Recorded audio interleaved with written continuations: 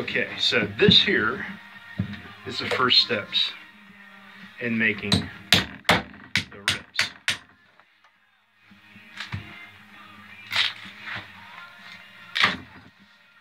So, break all this stuff down and get the box out of the way. So what I'm doing is I've taken that quarter of a piece like this you'll see that I've split it and I've split the heartwood off. Left just a little bit of it in there. There's about three growth rings or so. Then we split that in half. And right there is roughly the width I want for these ribs.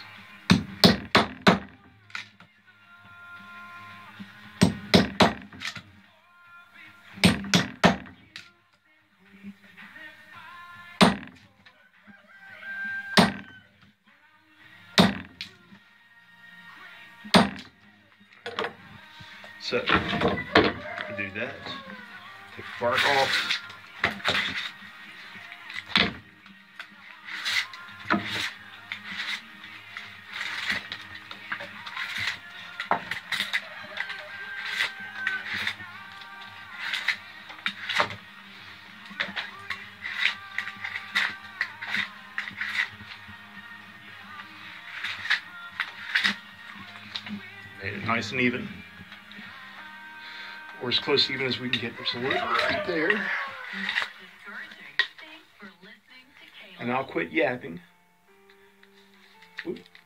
And what we've done is before I stop yapping and start actually working, we've split. We've got a bunch of little splits in here from the knife.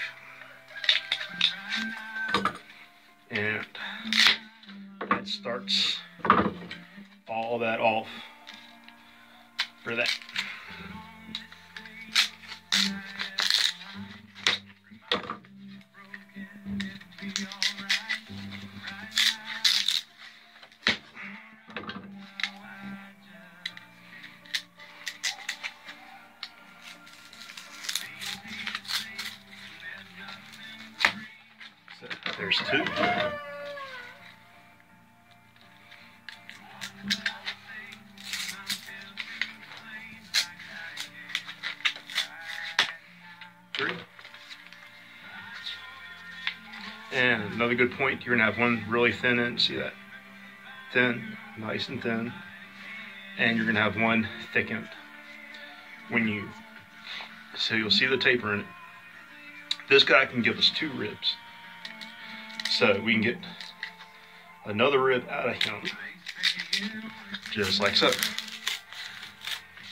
And remember, don't be jumping the grain. You jump the grain, you lose the strength.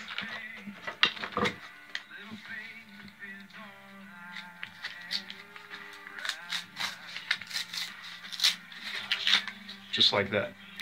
And you lose length.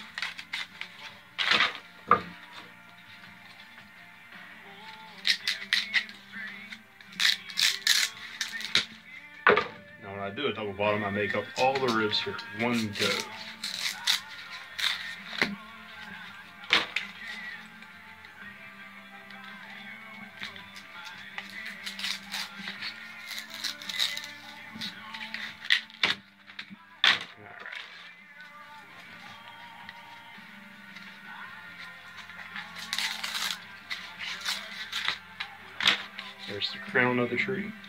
For anybody who doesn't know, the crown is just the part of the tree that's round. It's the very outside of it. If you're ever making a bow or something and somebody talks about, you can see that right there, that gets brittle right there. This is the top of it. So let's see how many we have. Take my sheet, my sheet right there. One, two, three, four, five, six, seven, eight, nine, ten, eleven. So that one gave us enough. That one piece gave us enough for just over one basket. So we're gonna put this guy aside. You know the heart of this tree works exceptionally well.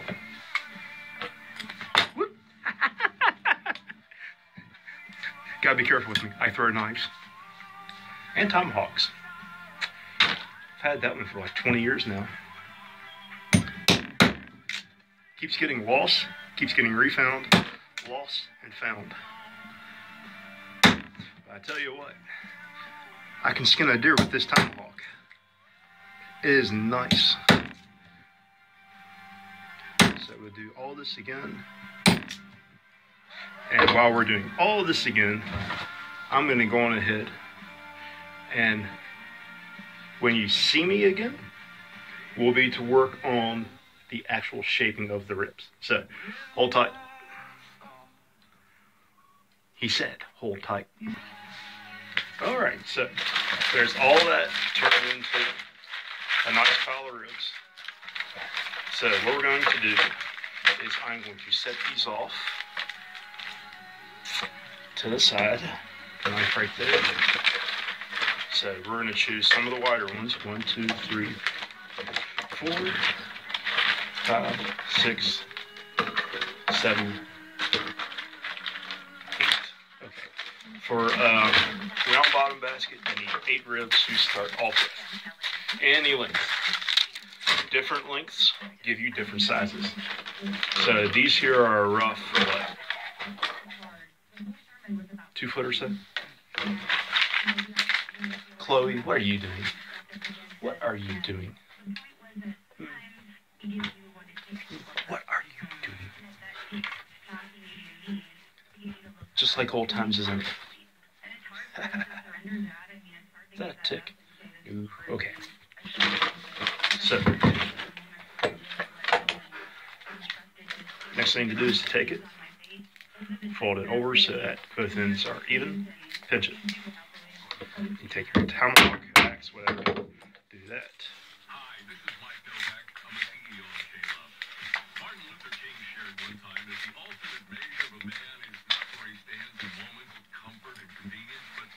Chamfer that just like so. it's in these challenging times that we believe that the purpose that God created you And right there's what we got. clearly defined. We are really at So when you fold it open, God has called us it looks like that. for positive and good and lift up and celebrate You need 16 of these. rather than simply focusing on all the negative things. So Get rid of we're going to do the first eight, and then we're going to get the cracking on making the basket. To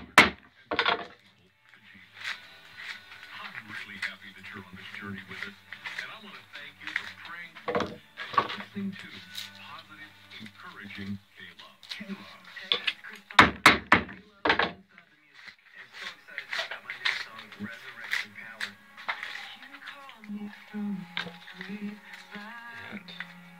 I got a nail on the side of my basket box right here that I stick them on.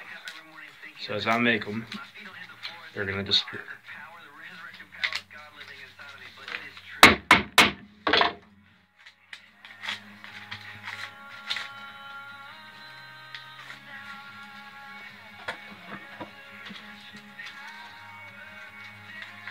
Come across one that's really thick.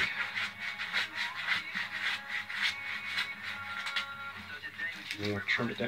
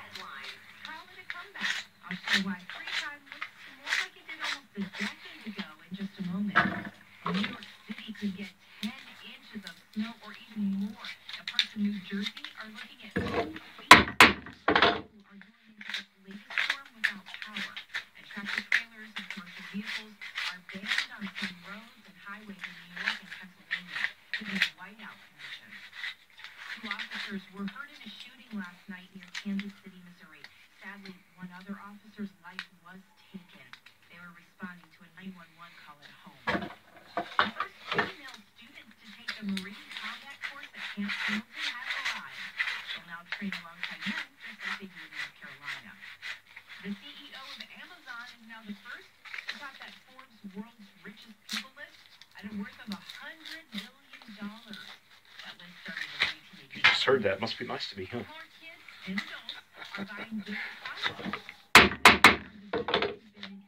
can only imagine his taxes.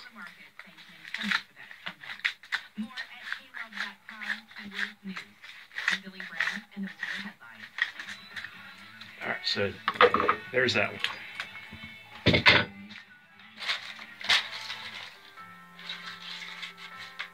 Grab split.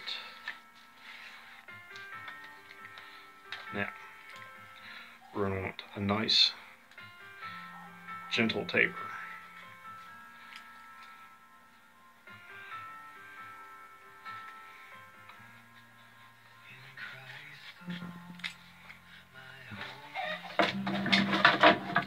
So, come here. Come here. Come here. There you go.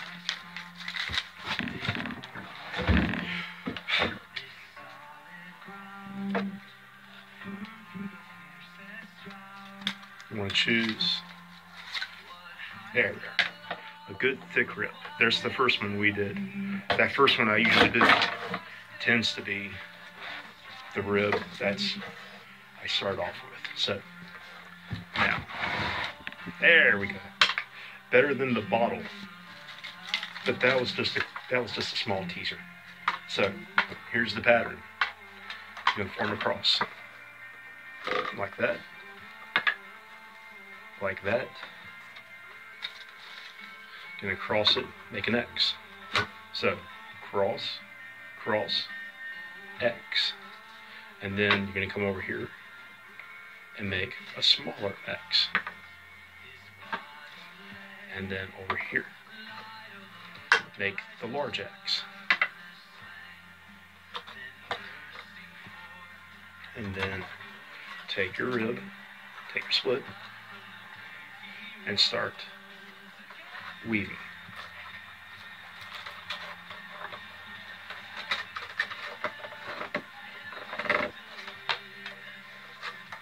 And if you've done the pattern right, it's interlocking. So the way that I just showed you to put the ribs in, if you do that, when you put your split in, it will interlock. Just like so. So that way when you get to the first course, when you get that first course done, you can literally take it off the box. So there's the first course. There it is. See?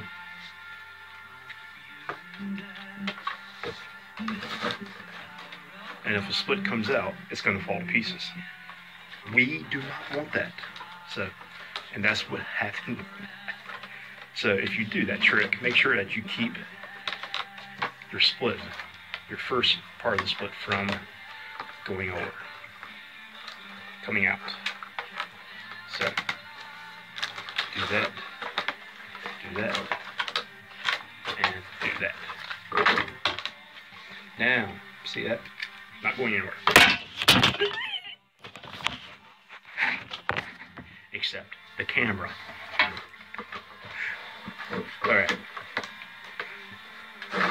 Enough of the shenanigans.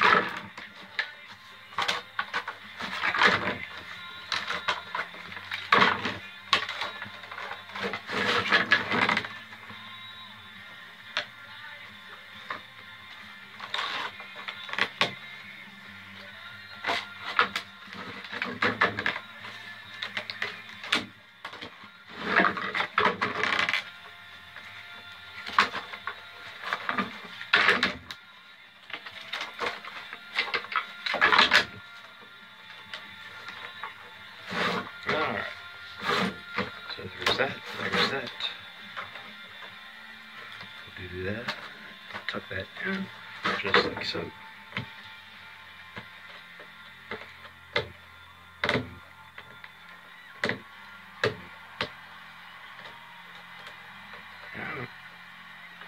There we have, we have yes on it. Yeah. So we'll do that. Tuck it in there just like that. There it be. So.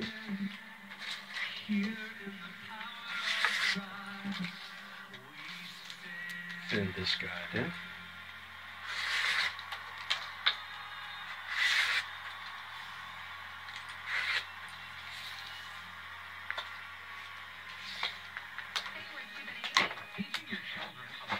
Then you go back. We got one, two, three, four underneath the fifth one. Tuck it on top. And we're gonna start. That's okay because I need to make more reps, remember?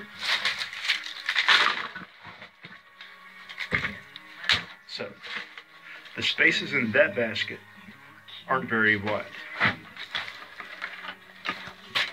So we need ribs that fit in between these spaces like so. Okay.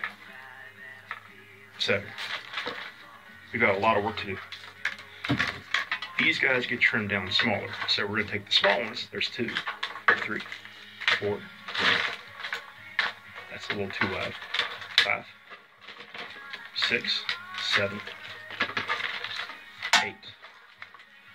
And we'll take that short one out. That one that's got the bad end out because I just don't like it. So there we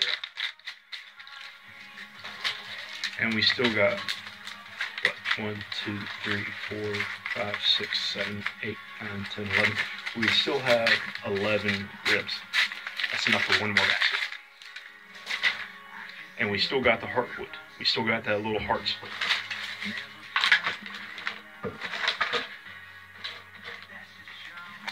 So these guys, we're gonna do the exact same. Tap it. We're gonna come back farther.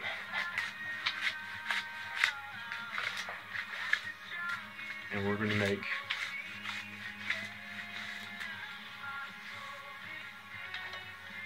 gonna make it a bit smaller like that. So that way, when we put it on the basket, like so. We're gonna put it in the spot like right here. So that is how it is going to fit into that spot. You see, and we're going to go and do that now on all eight, well seven. We're gonna do that now on all seven of these ribs. So, where'd it go? Ah, there it is. Railroad spot. Be shocked how many of these things I've made, but uh, there we are. Not bad for a beginner.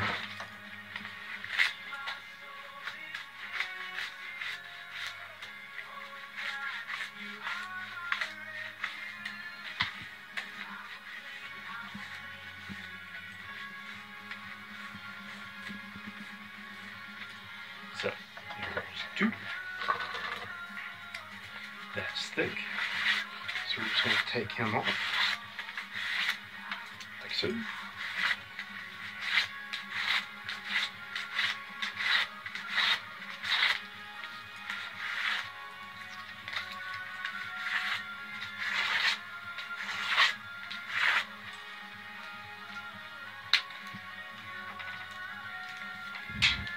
Mr. Door, stay put.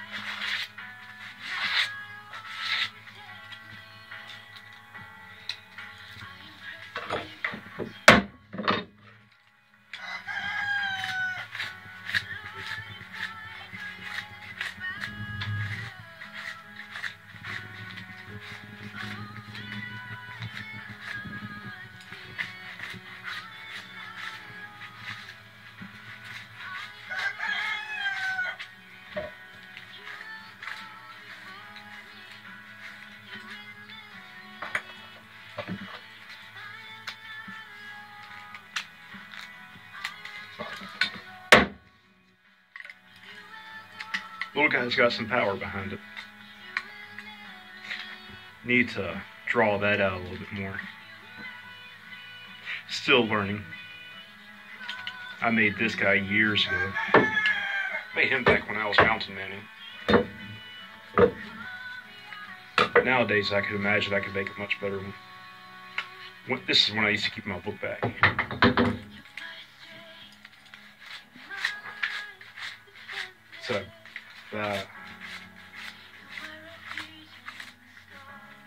Smacking that piece of wood down like that, you make sure that that stays flat. So, because you don't want these things springing out. So, here we are again. Here's our new batch of ribs. You see they're smaller, they're finer. So what we're going to do is we're going to take that, tuck that out of the way, orient the basket to be so, and we're going to do the same thing, except that now it's a bunch of little crosses. And let's see. If you're not happy with how your basket, your spaces are, you can trim it. So, let's say I'm putting this rib right here. You know, we'll give it a go. We'll give it a go. Why not?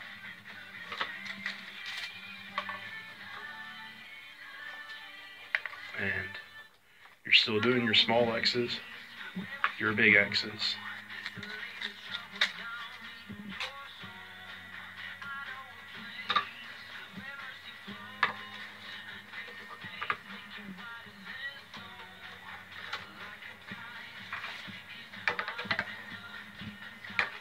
Goal here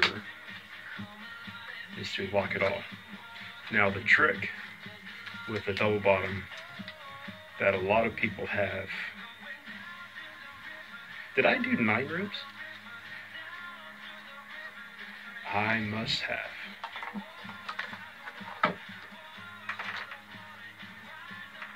See, one, two, three, four, five, six, seven, eight.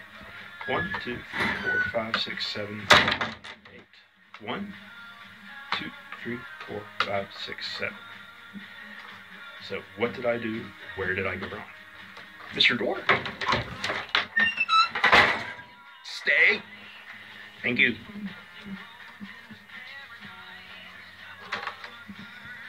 So right here's the last one. So now, like I was saying before the door shut, knocked my concentration off, messed me up. What we're doing the trick with the double bottom is that you make sure that your ribs, the very tips of them, are all on top of one another. So I'm going to weave this course around here real quick and you will see what I'm talking about. And this first course here is the absolute worst.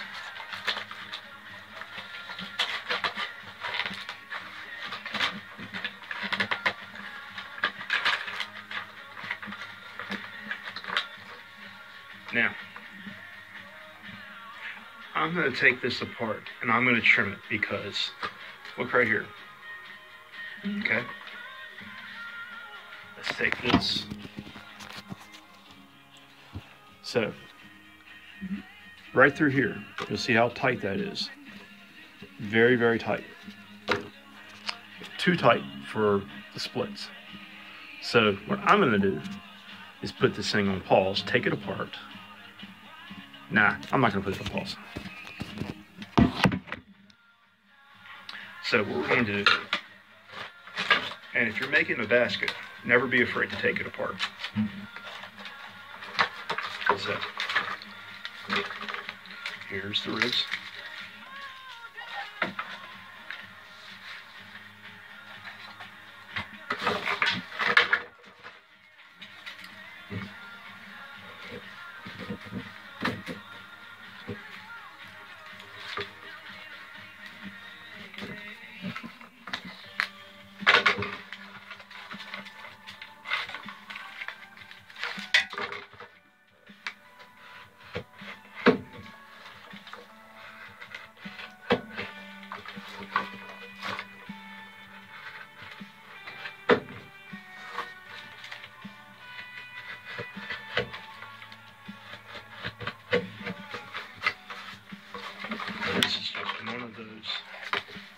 Many, steps in making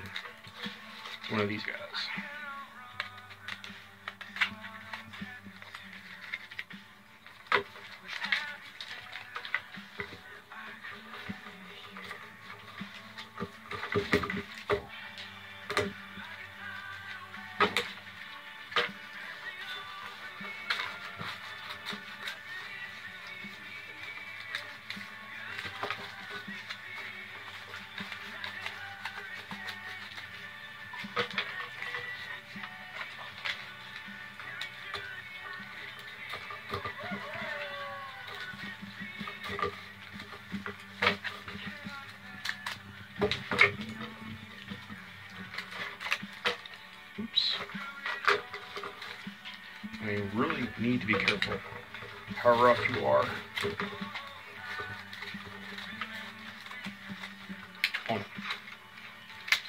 You get too rough, because of how thin your splits are, you'll bust. Whoops.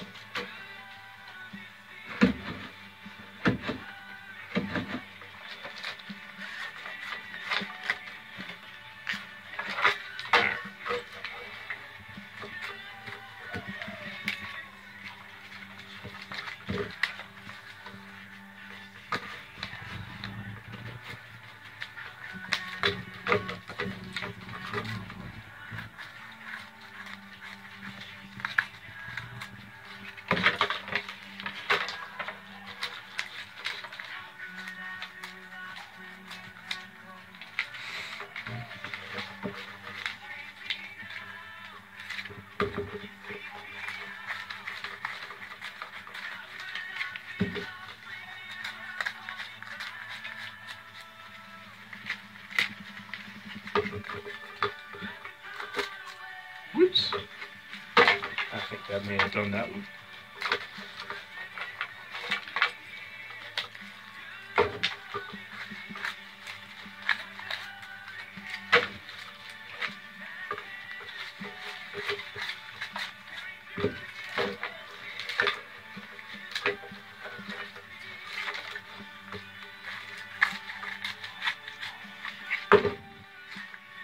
Get your split out of the way.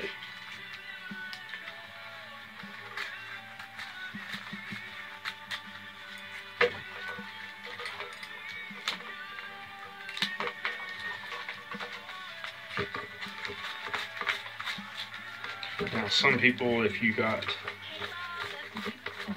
if you don't know this technique, this one here that I'm using, this is an old Mora knife. This is one of the old Frosts. And the technique I'm using for this trimming right here is the uh, scissor chest technique. So you're basically putting the knife right here and you're doing that. So, alright, we got this guy right here. And the other technique is I put my thumb right here, use it as a guide.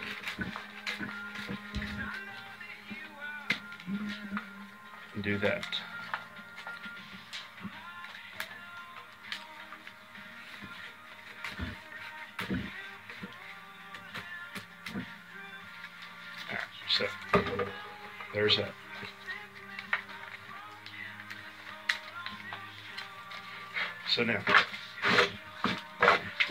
Basket that the ribs are a lot smaller. So let's try this again. Where did I put them? Ah, That's why I got nail inside the box.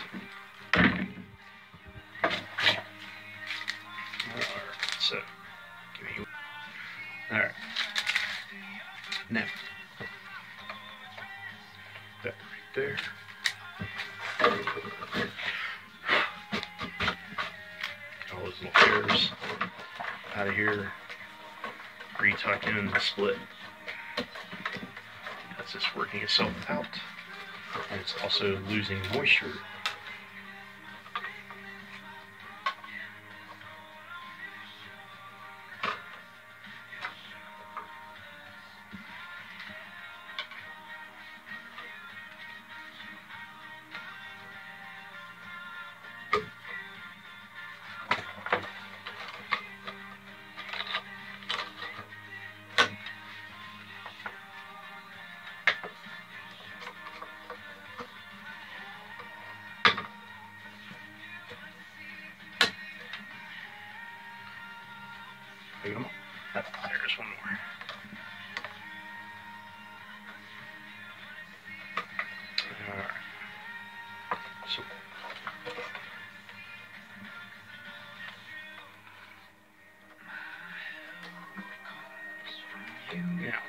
Take two. Except we did all that in one take. When you're doing one of these, when you're doing them in numbers, it's good to just cut all the ribs down real small. That way you don't have to worry about it. Because the size that I cut these down to, our typical style is that we split those ribs. We don't add another layer. So what we do is we take those nice wide ribs I made up for the first course, and then instead of adding another layer, we split them in half. So making two ribs, much like the split rib we started off with. That's that's what we do all over the basket, and then you weave it. Problem with that is, uh, is you don't get a strong bottom. But the upsides of that one is, that you won't have a point sticking up in the bottom of your basket. And some people don't like having points. The very peaks right here, poking way up. Some people do. They're funny like that. And as an artist, you have to, or a maker of many things, you have to you have to accommodate them.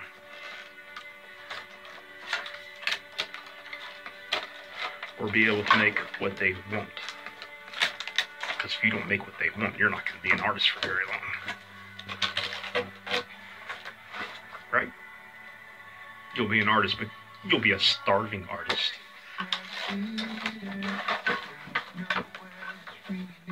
For a bit.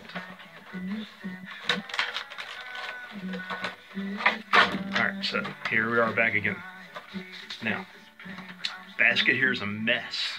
Let me show you what I mean. So, let me show you what I mean. Points are all over the place. Splits here, but you'll see that it's tucked in a lot better, and now you can see the split work underneath. So, I'm going to do is we are going to fix that right here with the tip of our knife. We'll get in there just like so. And we'll bring those points over. Here's one. Just like that. So there we are. There's that. And then I'm to have to put the camera back in its spot so I can get that little spot where the splits are, but that's no big deal. And now it's just a typical weaving of the basket. So let's get cracking. Splits drying out. Stay. So, to fix that spot there, we'll take the tip of the knife, poke it down. Just like so. And then we'll draw those splits in. So what we're doing is we're using the split itself we're giving it a small tug as we tighten it. And as that happens, it pulls the splits down. Just like so. And this second course is what's going to set all these ribs.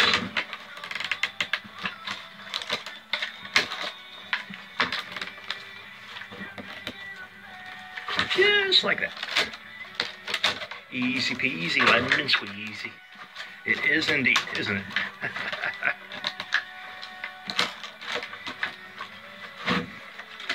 and when you're doing something like this, if you're still with me and the music is not bothering you, cool. When you're doing something like this, you don't want rocking music all over the place. You make mistakes. It's good to play something new age or contemporary, something easy listening, you know? And my music taste varies. When I do something like this, I just like to get lost in the zen of it. Just get lost in the process, and all of a sudden you got a bass.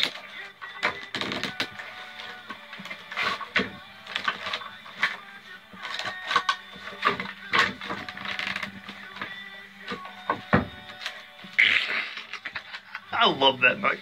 It does it every time. Take a look. I knocked it off. I hit that knife off. See it? It loves to stick in to the floor. I told you I'd throw knives, even by accident.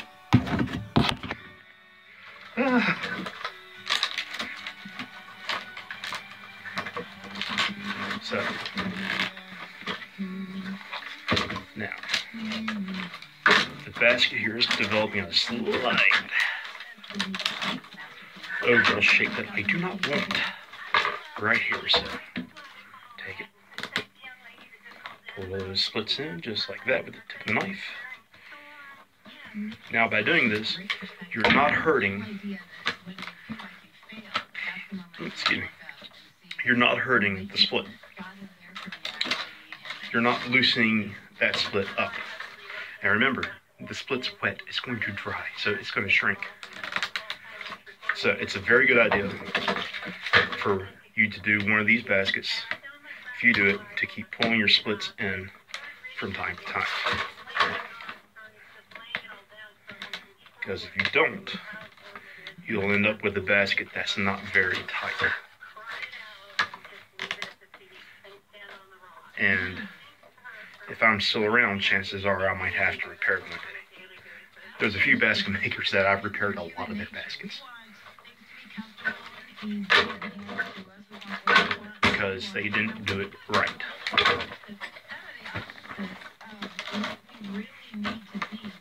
Basket making in this county, like I said, it was a very big thing. You had a lot of peddlers. You had people who would spend all year making baskets or all winter. They'd go out, they'd sell them, have that extra cash. It was used during the Depression to barter. Basket makers up here would go and they would make baskets. And you had families that did that, like the Nicholsons, the Cooks, the Prices, the Emersons. Snowing again? It's snowing.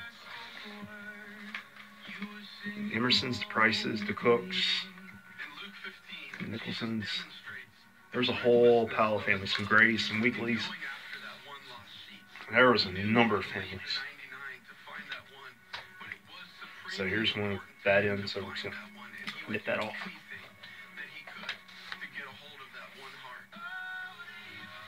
And because of it being thick, thin it out.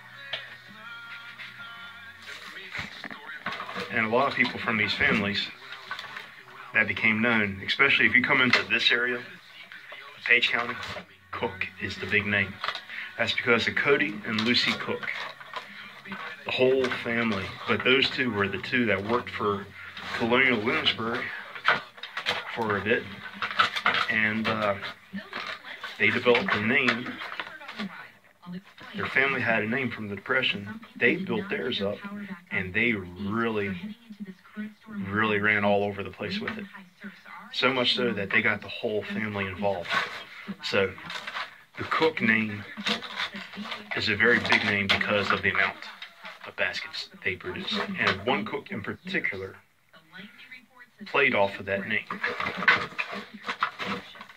That name from Cody and Lucy was for quality baskets. So this guy, and I'm not going to really name his name, he's passed. But this guy didn't do that. This guy was worried about quantity, not quality. So, any basket maker that's worried about quantity, good luck. You're going to make some crappy baskets. Don't make bad baskets. Make good baskets. Make quantity, make quality over quantity, and let that speak for itself. Now, I may have woven it up, woven it out a little too much. Yeah, I did. So we're gonna we're gonna take it off. We're gonna take this out. So right here, right here's where we started the split. Here's where I'm happy. We're just going to fold this up. Now, as we're doing this, what you're gonna see is me just folding it up. What I'm actually doing is I'm taking the tip of my finger, placing it right here, and I'm using the end of that to roll. I want that, I want this thing to roll. See, it's not breaking, it's rolling. See that? So, you do a few thousand of these, your finger. It's going to get used to it. But until then, it's probably going to hurt. So, we're just going to do this, like so.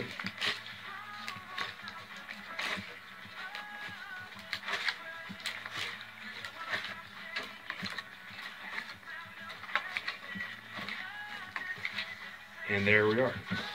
There's that very first steps of the basket. So, uh, time to get lost in the zen of weaving. So we're going to transfer it. There.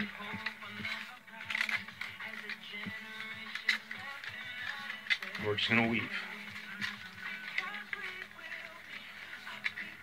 And because this basket, because this video is now out 40 some minutes long, nearing 45. What we are going to do is make this into a two part video. So by the time I get done with this, we'll probably have nearly an hour and 15 minutes, maybe longer. Because I'm very, very particular about how I weave my baskets. Okay?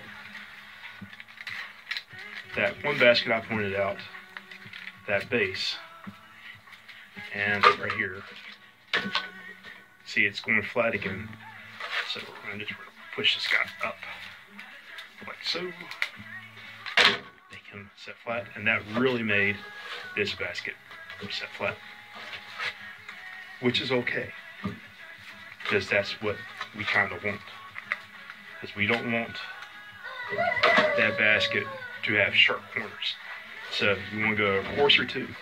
And then what we're going to do is we're going to come back and I'm putting my finger just above the roll. And we're going to roll it up even more. Just like that.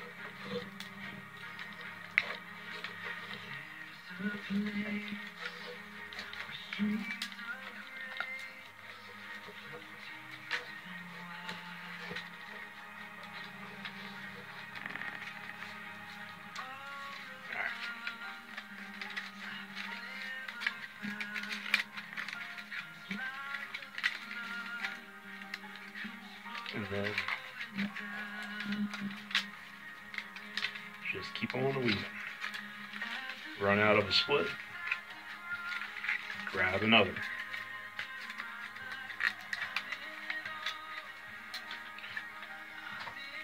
Split from the if the split wants to go inside, just go ahead and cut it off on the outside. Grab your next split. Got the little wide on the outside right there, so let's nip him off.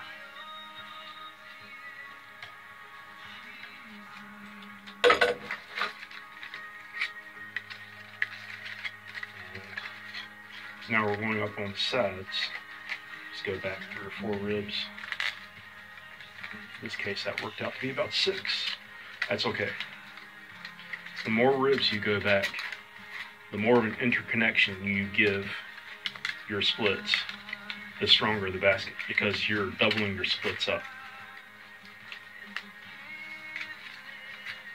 So, if you have a bunch of short splits, just take them about halfway back. Just cut those splits. Just cut the length of those splits in half and just double them up. So what I'm saying is you want to go, if you got a short split like this, I don't want to worry about weaving that much of it up. And I just tuck the rest of it into the split work. Get rid of it like that. that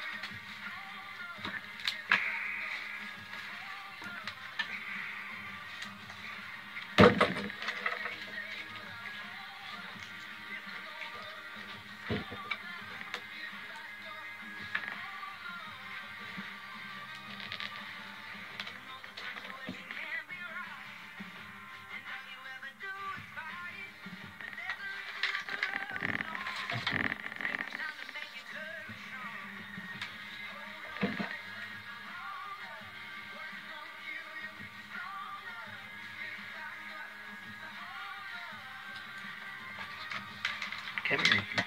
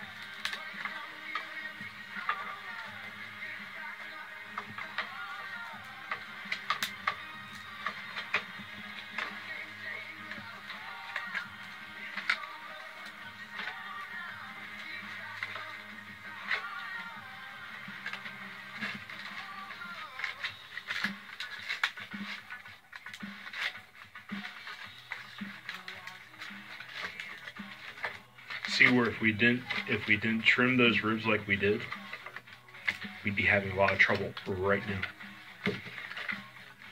Because here's one that I should have trimmed a bit better. See how they overlap? See those two right there? See how they just went to natural overlap? But I think I can work around that. But I don't like that little point right there. So guess what? I'm gonna take that knife. We're gonna get rid of it just like that. So what we're doing now, what we've done is you see that we've made the bottom of the basket round ever nicely. And now we're bringing it straight up. There's still going to be that gentle round in it.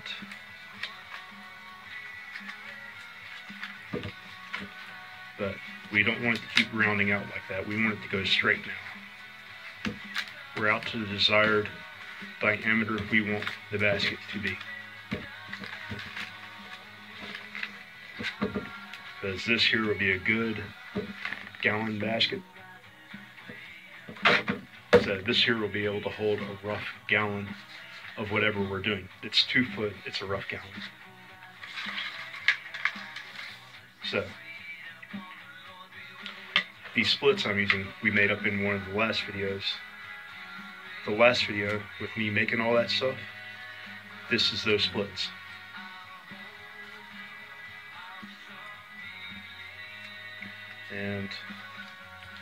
And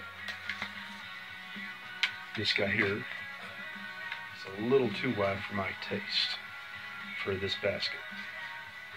Each basket has its own size of split.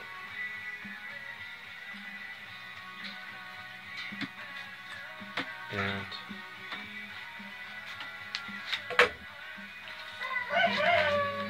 plus when you make so many of them, you come to learn instinctively that size is split. Some people, their split size varies. That's how you can tell who made what basket. My stuff, I like to be in proportions to the ribs.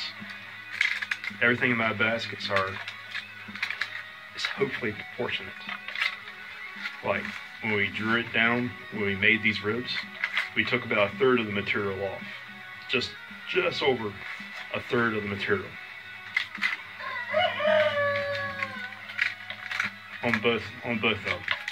For a regular fan for a regular round bottom basket like this, you add about a third. So now what we're basically doing is we're basically making a bowl, but we're weaving it. We're weaving a wooden bowl. So same rules apply. You see, you carve a bowl, the bottom of it is a rough one third of the outside diameter, right? The top diameter, the bottom is about a third. Right? Right? So, and now we're weaving that bowl shape up. So, this gets pretty interesting. From that one third, the bottom, we've rolled it up. And now when I'm done at the top,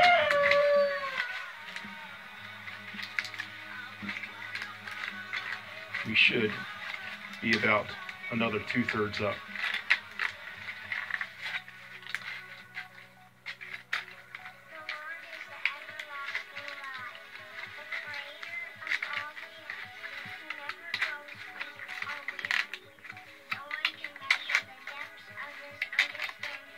When we teach people, this here is one of the hardest parts that they understand is to keep this basket on your lap. You're not going to distort it. You're not going to misshape it because your work surface is up here. So as you go around, you place it on your lap, you're helping to force your ribs down and into shape. I've seen people out here doing this number, trying to weave it up. They do this. You got to have the bottom supported at all times.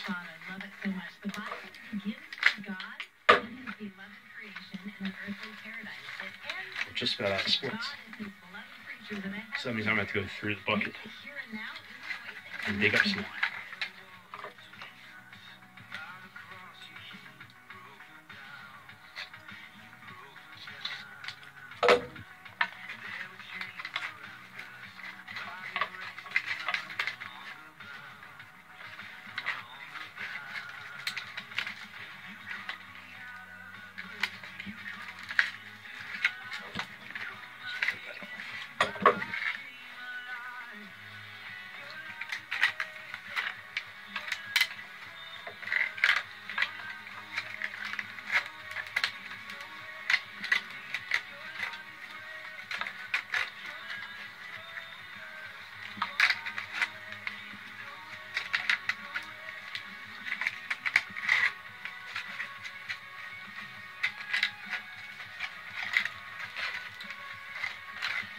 You see that this basket is really starting to come to shape. So we weave it up. And then you have ribs like this guy right here. So what we're after is we're after that nice even shape as it goes up. And as we go around, you'll see how this side kind of kicks in. So what we're going to do is we're going to loop that split around. We're going to pull that rib out like that. See how it stays? And that brings it in line with all the other ribs because what you're after is you're after a nice, smooth, and even surface. So if I was to flip that around, you see how all that's nice and even right here. I want that nice and even all the way around. You don't want to have a spot in there where you can see the split go in and out, in and out, in and out. You want that split to look like it's going in between all these ribs and it's not moving. It's a balance.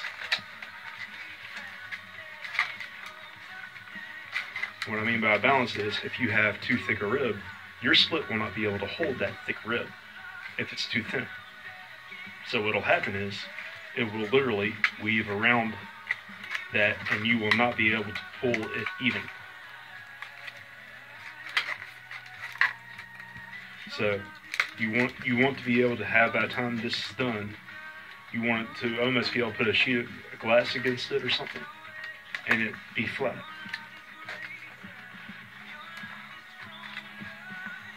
Yeah, yeah, you can make it. You can make it. And we got split like that. Doesn't want to work. Doesn't want to cooperate, so let's get rid of it. And then right here's the side that's poking out too much, so what we'll do is we'll bring that back in. We'll give this another go to there we are. There Right here's what I'm talking about. You don't want a spot in it like that. See how there's a kink in there? Guess that's what I'm trying to say. You don't want a kinky looking basket. Unless that's your thing. But you want everything to be nice, straight, even.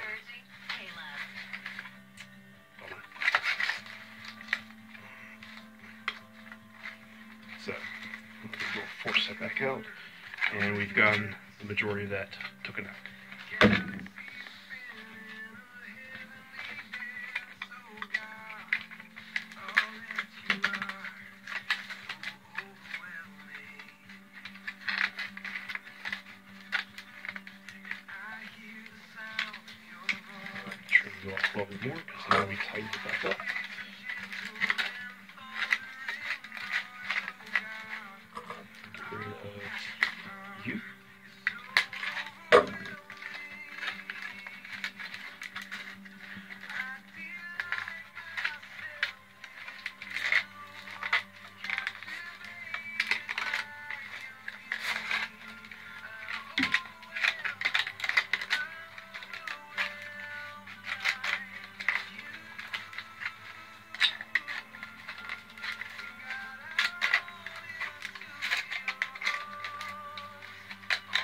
Notice I'm keeping my hands on a lot of these ribs now.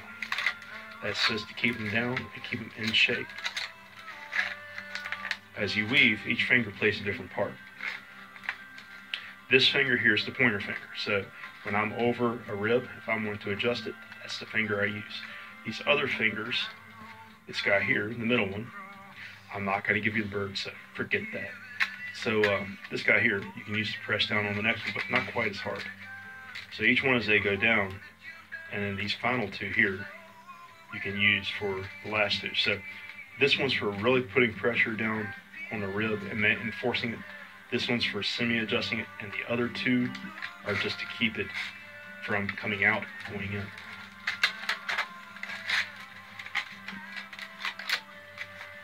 See that rib did that.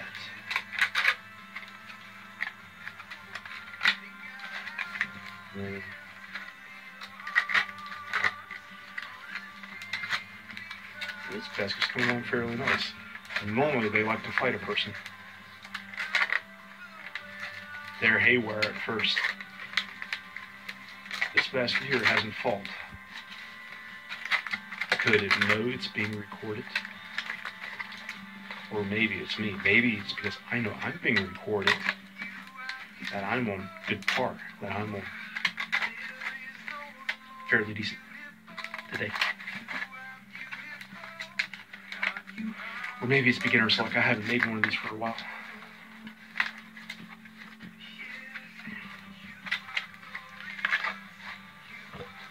There's the end of that. Trim that. And there.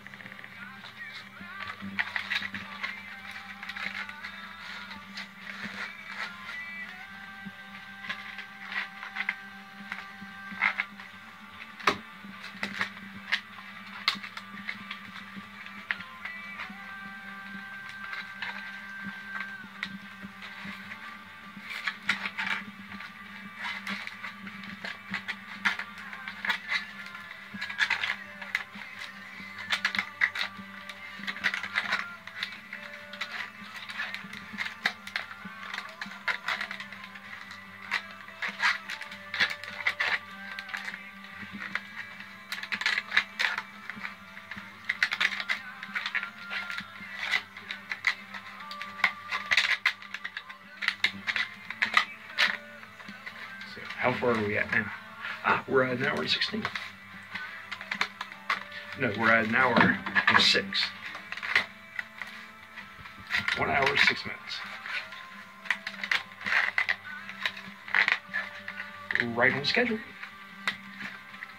So from beginning to end, without making these splits, because we've already done that down at the mill. It's taking to get to this point an hour and six minutes. Now about an hour and 11 minutes because it took me about another five minutes to prepare the other set of ribs. The first set.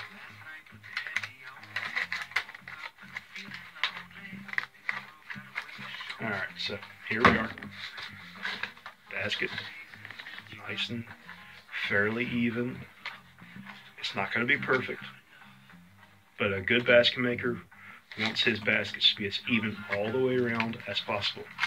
And if you're looking up here, forget that. Look down here, split work.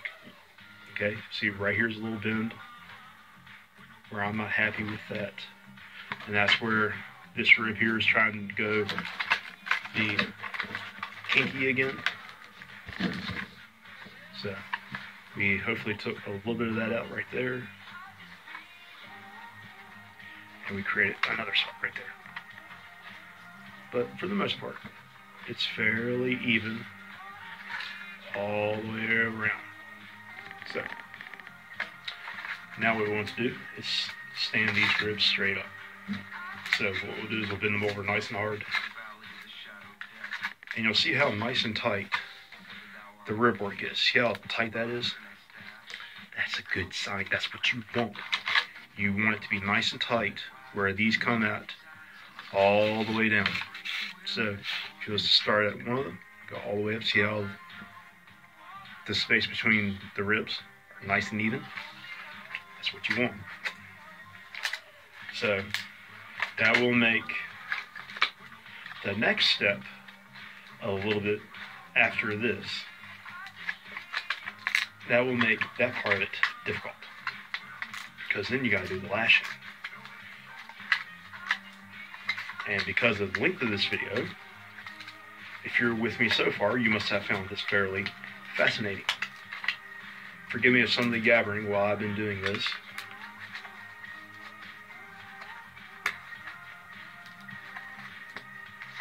But our next one, we're going to do this video in two parts. So we're going to do, and I'm going to give you a, I'm going to give you a demonstration of the next part because I got a basket right here. I got a small one. It's one of my little miniatures. It's one of those really quick deals. See the ribs are all, see how loose all those splits are. You can move all those splits So, next step. That's after it's dried. Remember, this is green. We've woven this up from wet wood. It's going to dry. It's going to end up as loose as that basket is. So we don't want to finish it now. So it's going to be a two-part video. And if you stayed with me this far, hey, thank you. I'm out of splits.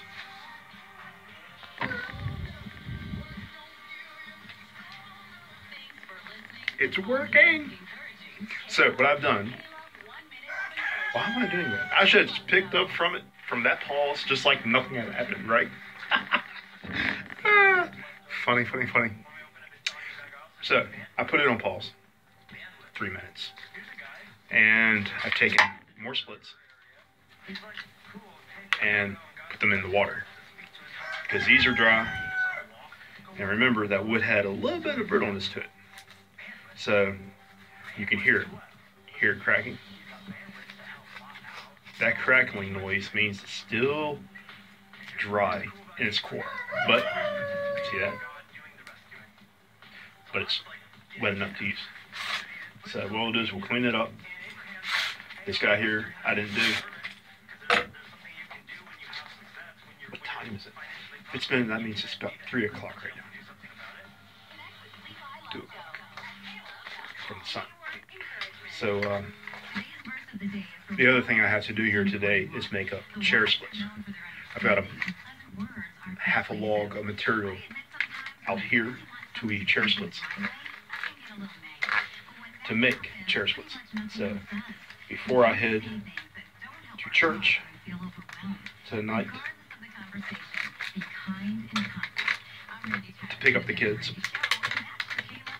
I'm a, I'm a van driver for the church, for a local church that I go to. And if it wasn't for that job, I don't think I'd be there. It's an awesome, it's an awesome little place. So now you see, I'm having problems, and the kids are the kids definitely make it worth it. They're definitely one of a kind. And if you're watching this, kids, hey, thank you. Remember, share the video. You're helping your poor bus driver out.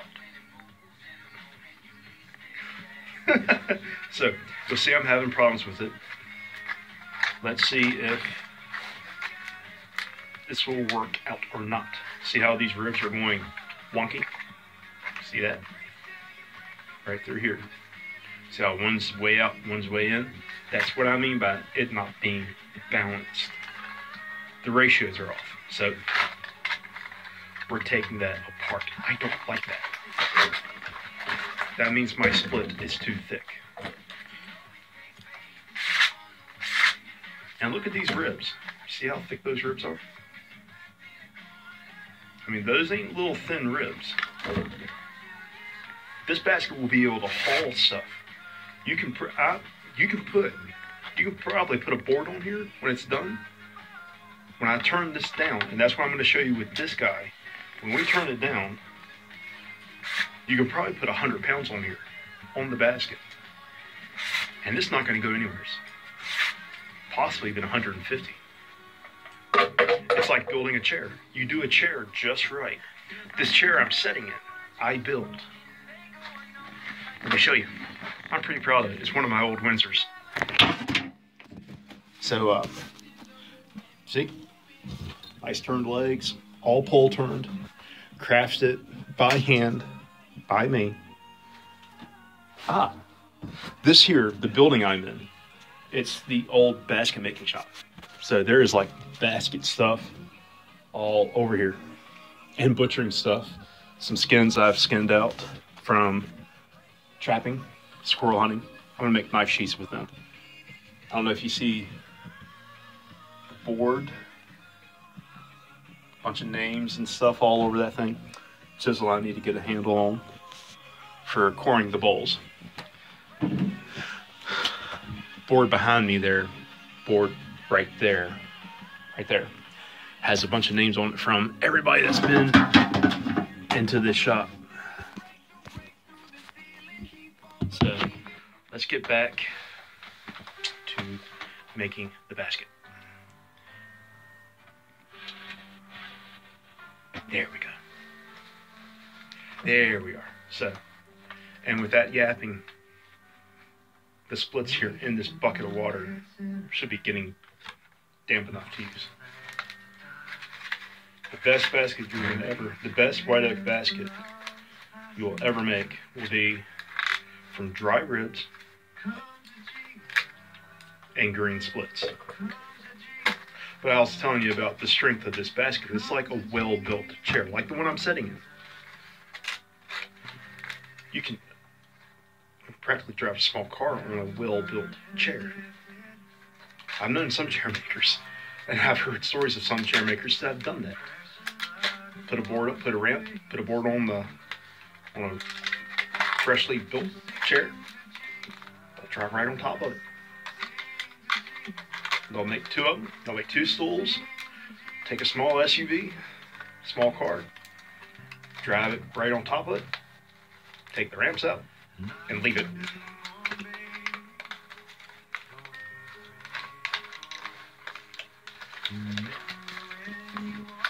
So, and you know, a lot of my chairs, chair like this here, this here, this chair here could hold, Lord only knows how many pounds for sure. Probably a good thousand. Probably the weight limit on the chair I'm sitting in is probably a good thousand pounds. And on one of my stick chairs, on one of my stick chairs, it's about six to seven hundred. So if you're a 700 pound person and you're looking for a custom chair, hey, I'm your guy. Just saying. Just saying. You're gonna have to wait in line though.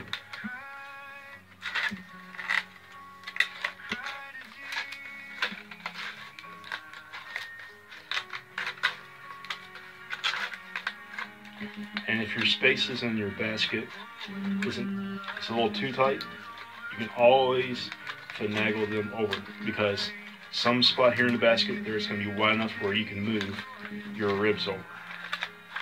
You don't necessarily have to spend all that time trimming it out. Like right here. Here's where two are coming together. I don't want that. Here's where two have come together. I don't want that. So what I'll do is I'll just spread them out.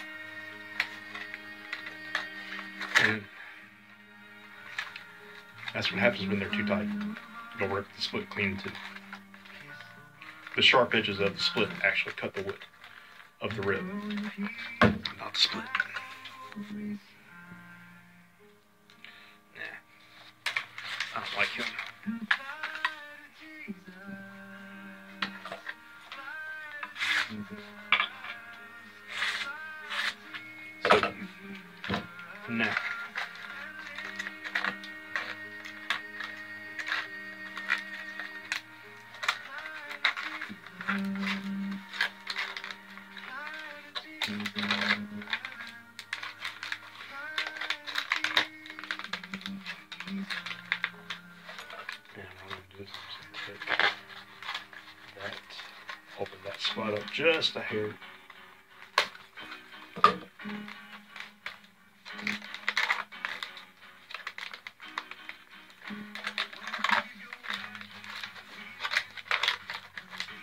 But I was also telling y'all about this shop.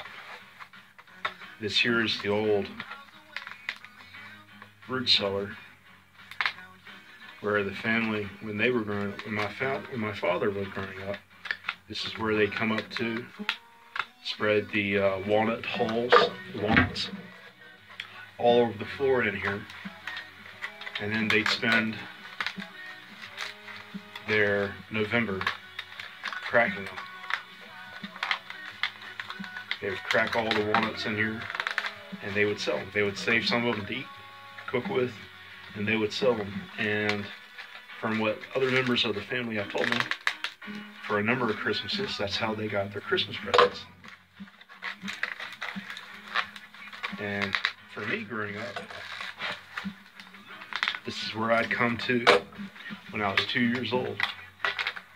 When I was two years old, this here is the very place where my first knife was given to me. In fact, it was put right over there, right there in the corner. And I was told to ask for it every time I came up here, two years old. So to be back in here making stuff again.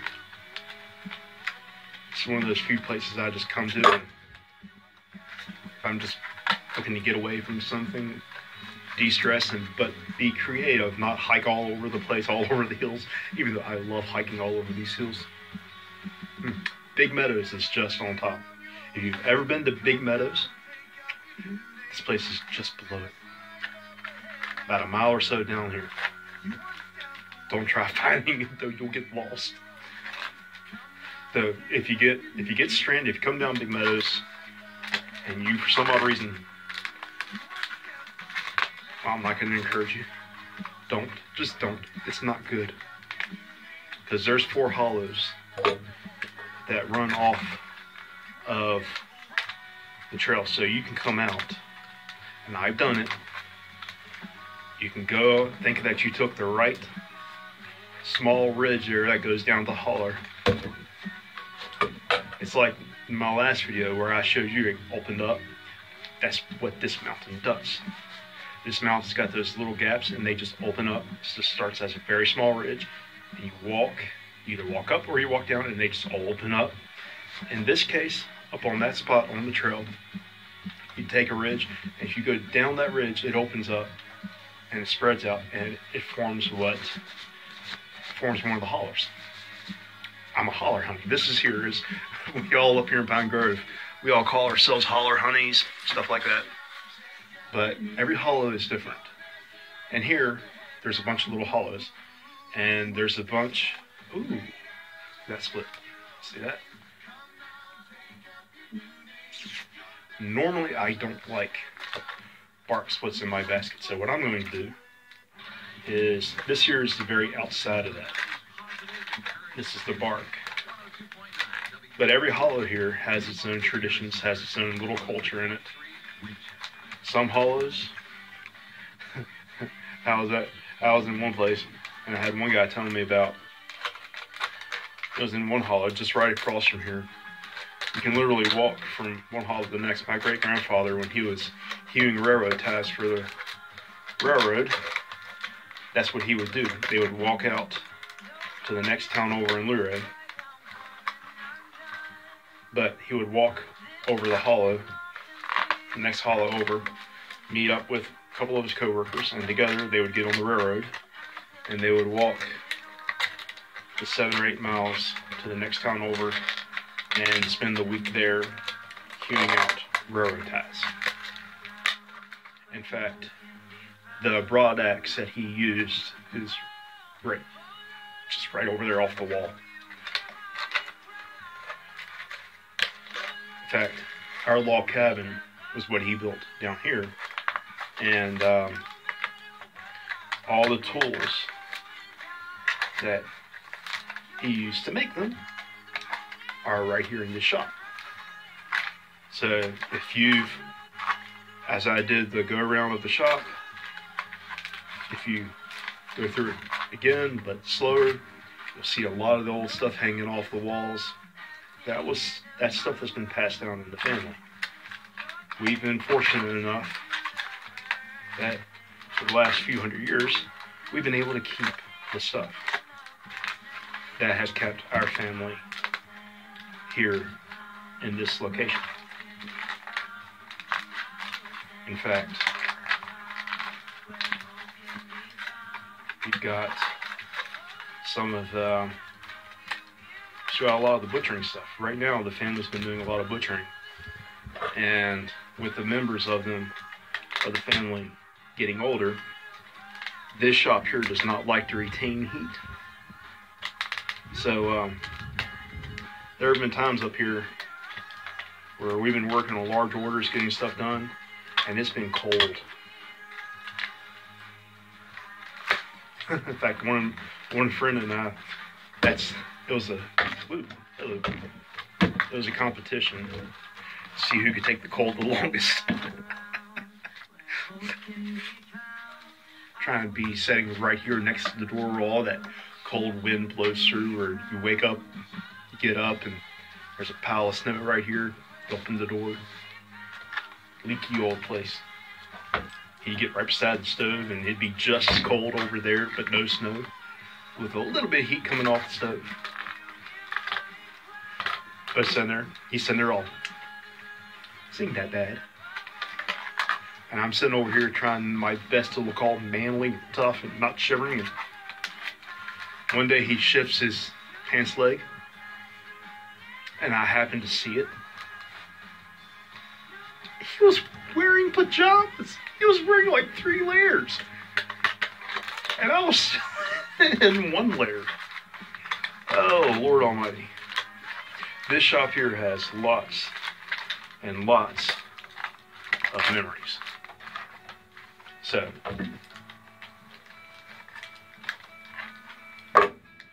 now you see how much tighter this basket's gotten.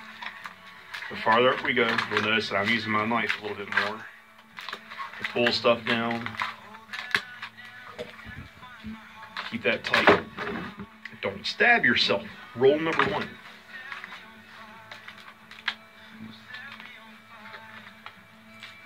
There you go.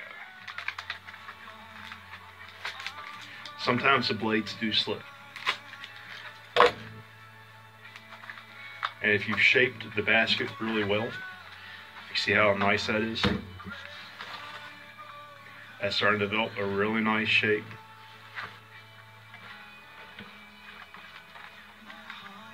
Somewhat.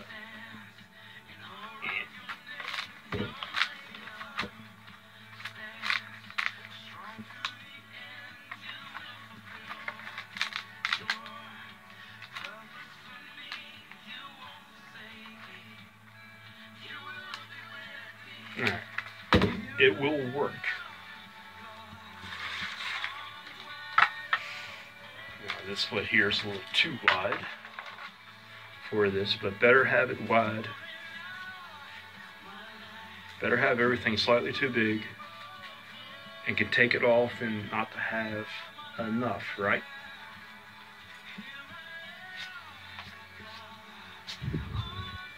Because you're dealing when you're dealing with crafts, traditional crafts like this, you're dealing with a craft of risk. This knife can cut this split clean in two. I'm risking this split with this knife by doing this. And I got a pair of scissors that you saw at the beginning of the video I tucked over here. But those scissors I use when I do my miniatures. When I make small rib, when I make small splits. What I'll do is I'll take one of these big guys and I will cut them in half or quarter. So there's the split.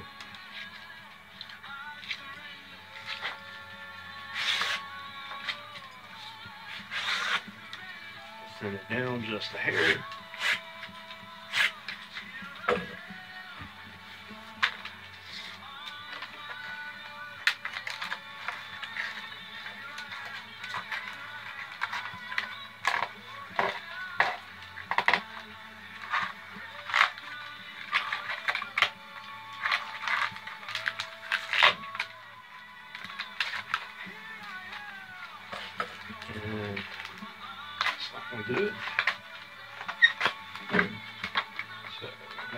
Take the tip of the knife, go in here, nip a little bit off these really tight areas.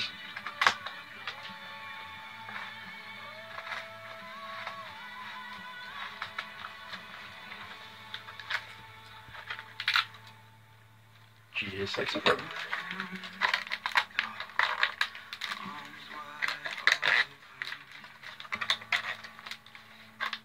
Now, if we were to do figure eight lashing, and a figure eight lashing is, I don't have a basket within reach. Well, figure eight basket is where, if you do a cross section, your slit comes in like this, we'll go in like this, out, up another rim, come back in, and then tie back around. So what you're doing is you're forming the letter eight. That's what's called a figure eight lash. Number eight. Nerves. At least that's what I'm going to blame them.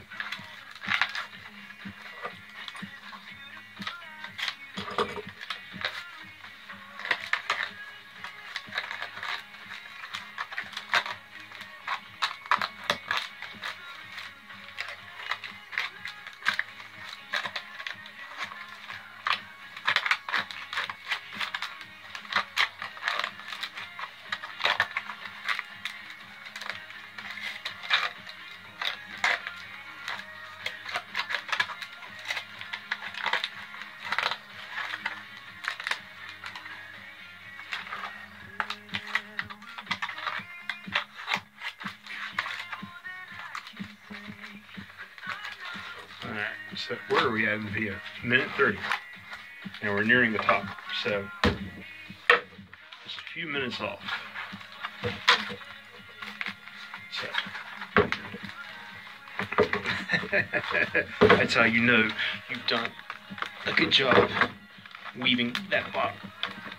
Press that down, just like that. There we go. We want it to set flat.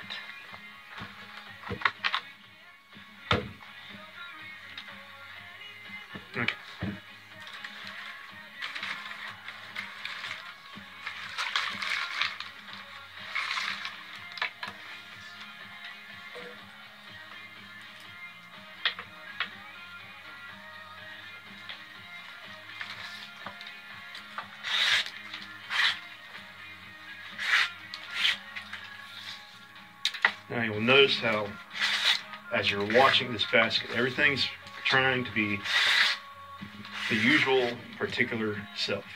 In spot like that, I don't like it. So we won't throw it away. Put it right there. We'll save it. So we can use it on a miniature. Right. It was a lot of work to get that.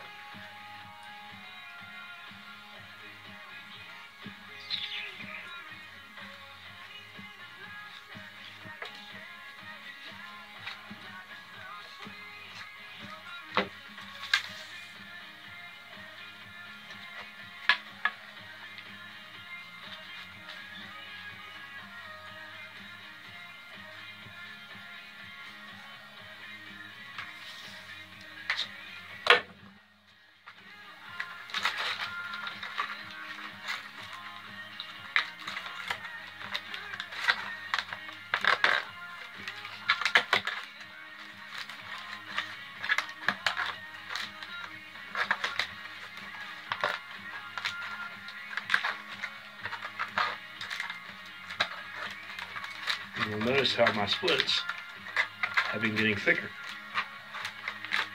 That's why I was pointing out that basket I repaired. The very bottom of that was done with a lot of really thin splits. So as you start the basket, you start with thin and you work to thick. Some basket makers, they start with thick splits and they stay with thick splits. And they fight the ribs. That's good. I mean, you do that to a basket. If you start a basket with thick splits all the way and weave it all the way up, thick splits, and you got thick ribs, you're going to have a work basket. That's how they used to be made. Because wood has been getting so scarce, good basket wood is always a hard thing to find. Especially with, in this day and age, with people being environmentalists, they'll move in to the area and they don't want to cut any of the woods. They want to keep the forest as it is. They want it to be a small version of the national park. That's fine. It's your property to do with as you please. The people I look for are people who don't mind, or after I spend a few minutes talking with them, I tell them what I'm after. I tell them I'm not after a healthy tree. We're after trees that nature is going to kill. Here in the next few years, you're going.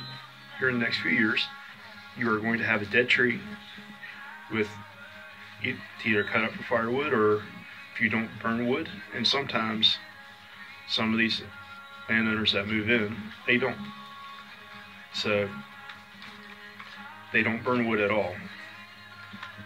They come in, they build the house, and it's all built to code, and they like their electric heat or their gas heat, and that's what they'll go with. So they got all this wood, all the forest that is struggling to survive here in this county.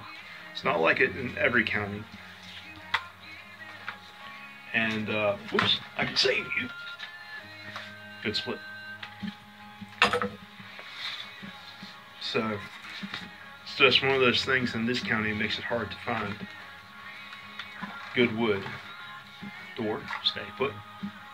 Thank you. The fact, and that, and also because you've had other big name basket makers in the area that go through, and they go through a lot of areas to get the wood and they clean it out. So that's what makes being a multi generational basket making family hard. Mm-hmm. Like me, that's why I do a lot of other woodworking and stuff. Because my family growing up, my dad, my father, all of us, we made baskets. We still do. But basket wood is getting hard to find because we've been all over the county, right? So because you go all over the county, you go through all the neck of the woods, you take out every good wood that will make a basket. Nothing's much left for the following generation, other than him or that individual finding new sources of wood. So the wood, a lot of the woods and stuff that we've been in, and we've been in them all over the county. There's probably not a speck of wood I haven't walked through without the owner's permission and harvest it with the owner's permission and harvest it. You don't get wood unless with the owner's permission. There have been a couple of times things got mixed up. They told us we thought we won't go there.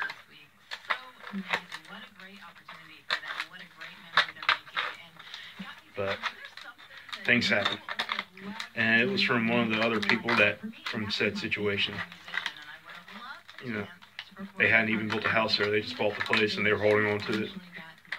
And they allowed us to go in and cut, except that the area, the place wasn't the place that they told us it was.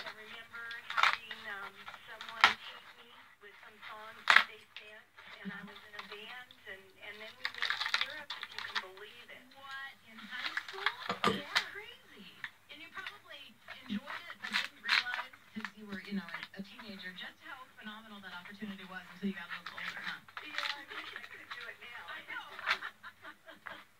My twin brother Joseph and I are navigationally challenged Not bad. We're getting a nice little basket out of this. So, We're up at the top, my and I think what we're going to do is serve on one more split. This will be the final split in this basket. So let's see. This split's got all over the place in here. There, that's the one I want to use.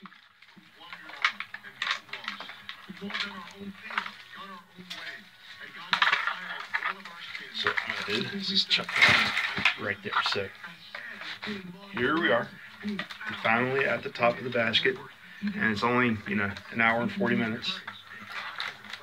You can hear more at francisandfuso.com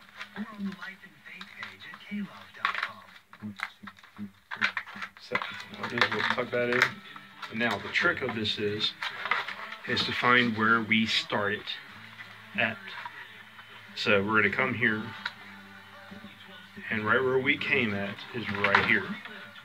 Okay, when we folded those ribs up at the beginning and start weeding, it's right here. So we're gonna weave back around. Gonna do is I'm gonna trim this rib right here, like that. See that notch in it right here? That's just a mark so that we remember where everything is. And the other thing to do is to check and make sure that the course on top is the same as the course on that course that we just marked off.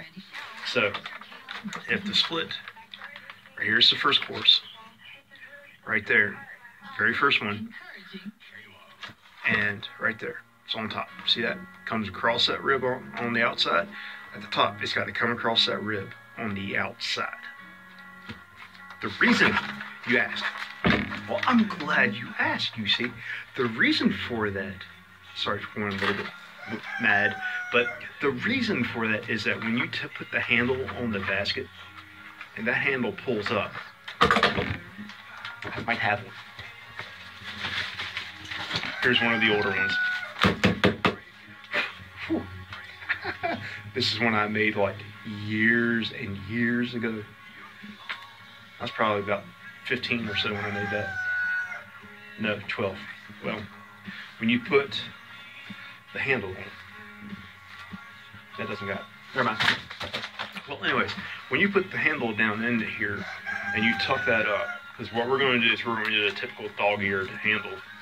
We're going to take it, put that piece of wood down, split it in half, fold one end of it up, tuck it into the split work, fold the other end of it down, and tuck it into the bottom. You will see that next video. So, because of that, the split that's right here, that's going to hold that loop. When you put weight in this basket, it's going to pick it up. Okay? Your basket's going to literally go down, your handle's going to try to come up. That's why you want it to be tight from the very beginning. Tight split work, tight bottom, tight basket, tight handle. Everything in it has to be tight. So that way it doesn't move. Don't give it room to play. If you give the basket room to play, that handle, it's going to rip that rim right off. It's just a fact of life. So, we're basket making. Not really basket making. Basket making life. so, make sure that the top one is the same as the bottom one. Whoops. There we are. There's our first course. There's that one. That's where we're going to shoot for. So we're going to come right back around. Actually, that was the wrong course. Whoops. So we're on the right course now. That last rib I showed you was before that rim.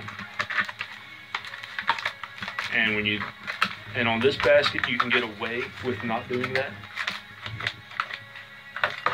In fact, I think what we're going to do is as this year progresses, that I go past it.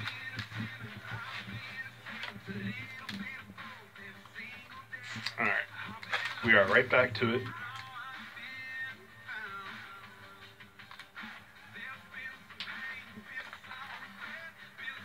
So what we're going to do is we're going to come back here.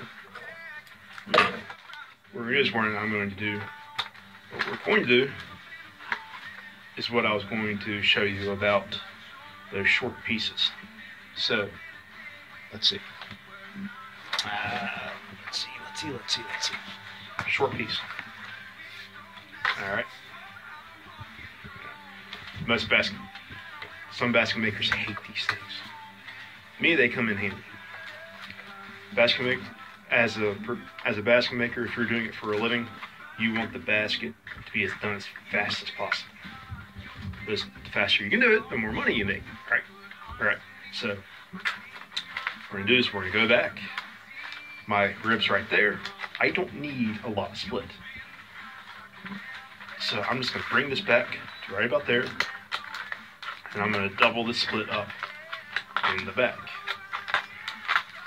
just like so. And you're like, Bigfoot, what does that really do? You're just wasting split, man. You could have made, you could have cut that in half, did just enough to get by, or just enough to cover what you need to cover, and use that for another basket. What's wrong with you? You just wasted half a split. What's wrong with me, you say? Quite a bit, my psychiatrist, well, the past psychiatrist would say. They went crazy too. But, um, that's funny. That's, sorry. the purpose for going so far back with that one split and leaving so little of it left is to double that split work up. Remember, your rim is going to go onto here, and attached behind your rim is going to be your handle. Remember that. The thicker this split is at the top, the last two courses, the thicker your splits are, the last two courses, the better. So I'm not ashamed to do that. Whoops. Camera messed me up. So here's where it starts to go up. So see that? All right. See how right here there's a little arch? We need to kill the split work. If we just do that, you're going to have a sharp bit. So you're going to have a step in that basket. We don't do steps. It's not tied in. That's a loose. That's a loose thread. Almost like what were you been doing? Telling a story, just leave it hanging. I hate cliffhangers. So what we're going to do is we're going to intentionally skip two courses. We're going to intentionally skip two ribs. And what that does, we need to go back one, skip these two, and then we will force this to split over this, and we will keep going till that split runs out, just like that. And what that did is that leveled out the split. See that too right here? We skipped it on purpose. Look how nice and level that fairly that is. Doesn't have to be perfect, but right there is where the split on the bottom came up, and because it comes up and over, it creates a little arch in the basket. Right here, creates a little dip. Find the dip, skip the two, just like that, it makes it level. And then we've also tied all that split in. So the top split of this is one continual split. Just like that. Now we have a fairly decent looking bowl. It's not perfect. It's been a while since I've woven one of these guys. And you'll see the inside of that basket. Look at that. Mm-mm-mm. Ain't that pretty? Ain't that just pretty? Oh, I like how that camera's picking that up. Look how nice and even those splits are. See that? Nice and even all the way down. See the bottom in here? That basket I repaired. See that right there? Get in there. You see the split work underneath those ribs? Look how nice and even those splits are. Mmm. The inside of this basket is a very gorgeous looking basket. And it's made right here. And so many thousands of them, tens, if not hundreds of thousands, have gone through this shop. So, with that being made, you see the outside of it. The outside is going to look rough, but right there, oh, right there's the money shot. I like that. Take a look. And you see how that center is nice and even? Look at that. It's not much of a wobble in it. That's what we're after. So we'll do that to that one, let it dry. What? You don't throw baskets around like that? What about this one? So, oh, whoop, we don't want to throw him. So what we're going to do now is do the turn down. And this is where I'm going to kill the video. We're going to do this first as a teaser. I'm teasing you. So what we're going to do, because of how dry this wood is, is we are going to take this right here, and we're going to dip that right there. And we're just going to let it dry. To let that soak up some water. Just like that.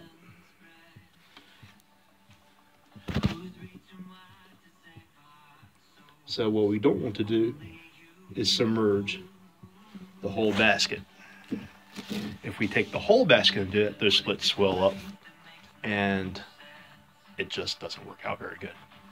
So while that water is soaking into that, let me show you some of the baskets. Figure eight lashing. Here we are. That is a figure eight lash. Okay. Go back up there. That's a figure eight. That's what a figure eight lashing looks like. Actually, better yet, here's a better example. Here's a basket that we've had for quite a while. That's what the top of that one can look like. That's a very good example of a figure eight lash on a round bottomed basket. This basket here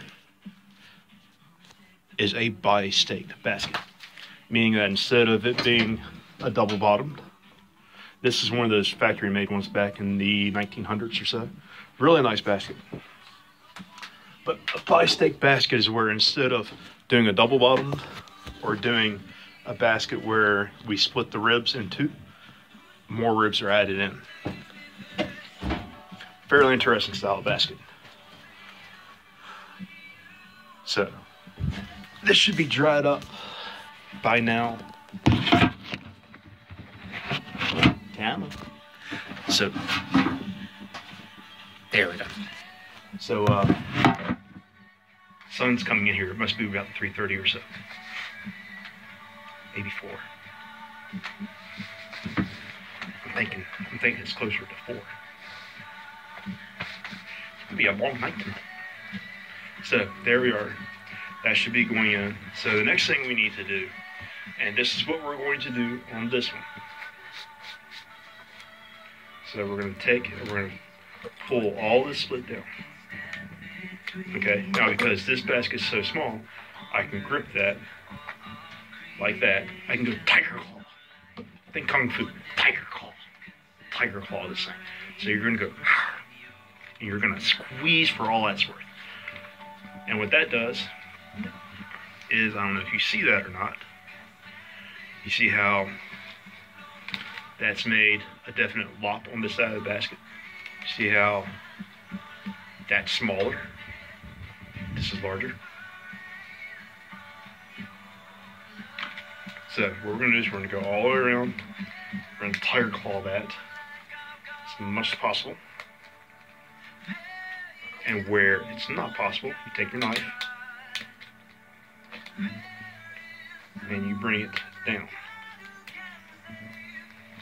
And sometimes, you know, you can take your rib and just bend it over like that. So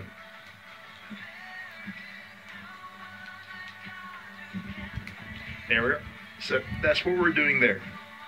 So now it's fairly nice and even. And what we're going to do is I've already bent this one over. Can I get a better light? That sun is shining.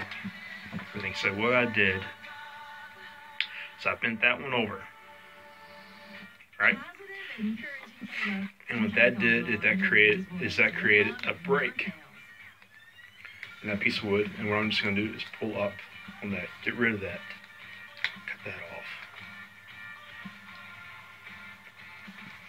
And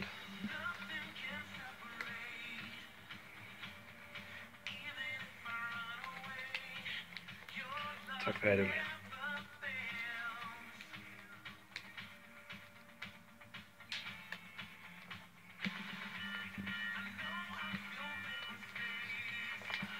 Like that. So, doesn't have to be pretty, just has to be tucked in. Fold that over. We'll go on the inside and put that on my knee, like so. I'll just take the knife, just grab the top of it, break it off, pull it down, go around, do that again, just down below that split. And then here's that one where we killed the split. We're going to see where it skips the two. So there it is. Fold that over. This is where having good wood is very crucial. Because you need these tabs. these tabs that come off, absolutely need them. Without it, all of your work's gone down the drain. You can't nail it together. You can't glue it together. Nothing. If you got bad wood and you somehow forced a basket out of it and you don't get tabs, it's done. Whatever hour and a half or two hours or three hours, or Lord Almighty, there's baskets that have taken me nearly a month to make. And my friend's got one of them. So if you don't get tabs like that, see how they come stick up? See that? If you don't get tabs, something's you're just not going to get a basket, and you've wasted all that time. From the very beginning, from the very beginning, you've wasted that time. The time it took you to go out, hunt down a log, carry it out of the woods, split it up, whatever you did to get that out of the woods to your location. Or maybe you're making them in the woods. I don't know. But you've just wasted all that time because you cannot tuck. Because those snap off and you don't, there's nothing there. There's nothing to keep that handle in place for when you put it on from riding, all that splits off. Once when you put weight in there, it's gonna all come to pieces. You need this. Without it, it's worthless. All of your time gone. And to find this tree, this hunt for this tree was what? If you go through all the videos that I've done with the baskets, it's been all out of this tree and it's led up to this basket. So this basket here, we've got an hour and 30 something minutes into it, and now we're nearing the two hour mark, which is going to mean that this is a very long video.